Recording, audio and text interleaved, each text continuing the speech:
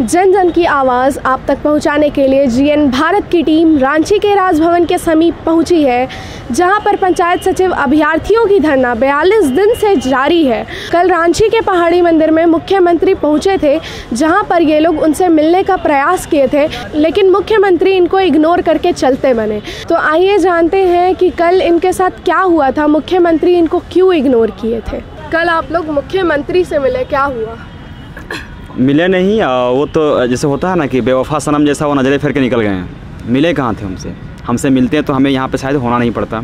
दोबारा फिर से यहाँ बैठना नहीं पड़ता। बहुत समस्या इसमें नहीं है, कोई समस्या नहीं है। अगर सरकार चाहेगी तो तुरंत इसको रिज़ल्ट प्रकाशित कर सकती है, कोई समस्या नहीं है। केवल निर्भर करता है सरकार की इच्छा शक्ति पे कि वो कितना ज़्यादा हमारे प्रति वो जवाबदेह है, हमारे प्रति कितना ज़्यादा संवेदनशील है। हमेशा बोलती, बोलते हैं सरकार की हम, ये हमारे छोटे भाई हैं, हम इनके बड़े भाई हैं।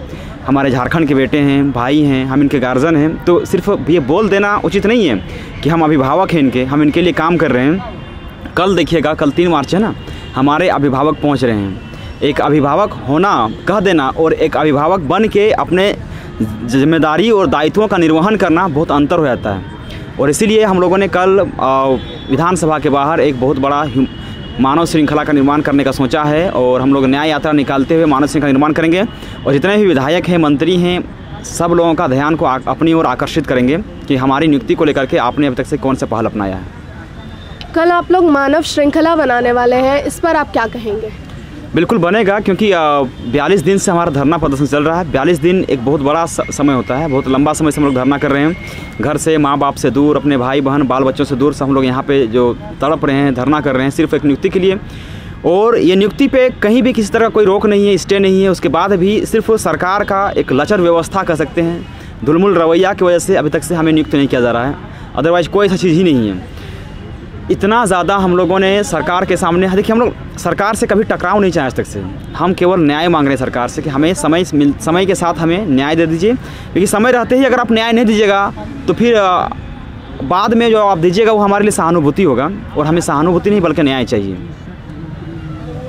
कुछ महिलाएँ भी काफ़ी दिन से धरना पर बैठी है। आइए उनसे जानते हैं कि उनका क्या कहना है। काफ़ी दिन से धरना पर बैठी है आपका क्या कहना है? जैसा कि आप देख रहे हैं हम लोग बयालीस दिन से आज धरने पे हैं फिर भी हमारी मांगे अभी तक पूरी नहीं हुई हैं। सरकार बस आश्वासन दी है अभी तक हमें कि हमारी नियुक्ति की जाएगी की जाएगी लेकिन हम सरकार से पूछना चाहते हैं कि कब तक की जाएगी? पाँच साल उधर वेट किए बयालीस दिन से आज हम धरने पर आ रहे हैं अपने बच्चों को छोड़ के आ रहे हैं घर परिवार को छोड़ के आ रहे हैं।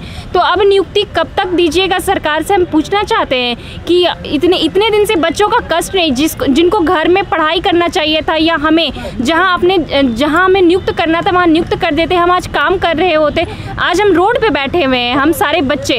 हम, क्या ये झारखंड का भविष्य यही है कि वो रोड पे आके बैठे?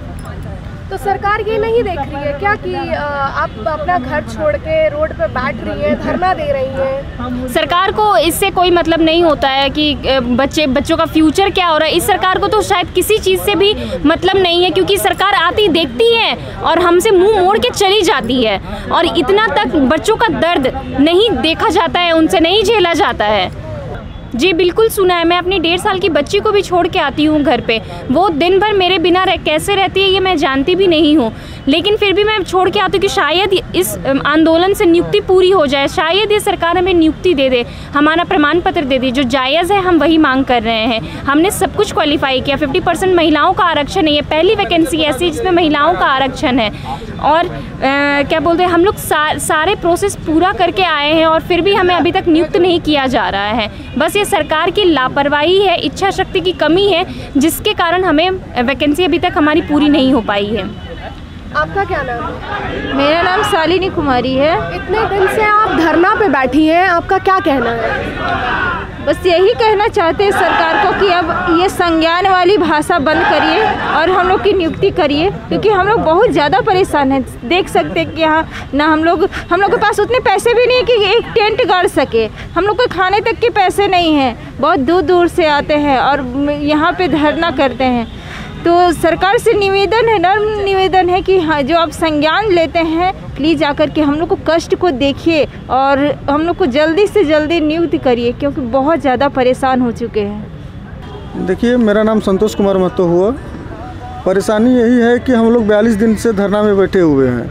हम लोग की बात इतना दिन धरना में बैठने के बावजूद भी ना हम लोग से कोई मिलने आ रहा है, ना पूछने आ रहा है। हम लोग का नियुक्ति का लगभग पाँच साल हो, गया है। नियुक्ति का 2017 का वैकेंसी थी।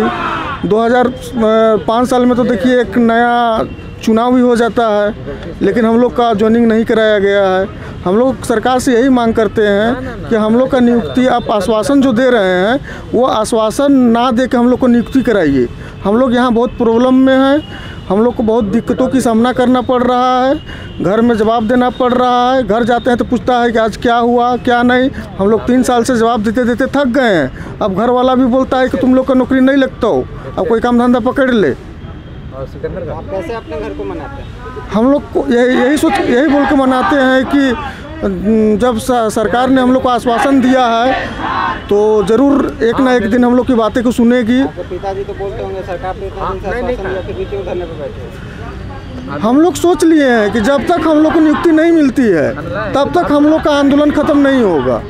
तो आपने सुना कि ये लोग कल मानव श्रृंखला बनाने वाले हैं। विधानसभा घेराव भी करेंगे। जीएन भारत के लिए रांची से वीडियो जर्नलिस्ट सोनू पांडे के साथ मैं राशिका बजाज।